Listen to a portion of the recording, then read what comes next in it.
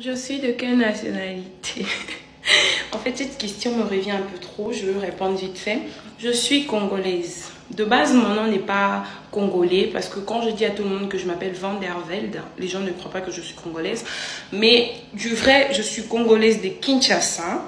Et euh, pourquoi ce nom-là? Parce que euh, mon grand-père était belge, donc on a, on a eu son nom.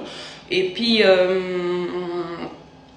les gens qui me confondent avec des Ivoiriennes, Camerounaises, Gabonaises, etc., c'est par rapport à mon accent. Mais c'est pas comme ça que je parle dans la vraie vie. C'est juste pour s'amuser. Et voilà, cet accent est en moi.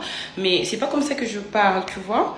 Donc, euh, je suis congolaise de Kinshasa. Naza kinoise, naza monakin. Et puis, nalobara lingala makasi. Donc, voilà, c'est pas mon accent. Quand je vous dis là, c'est pas que je parle.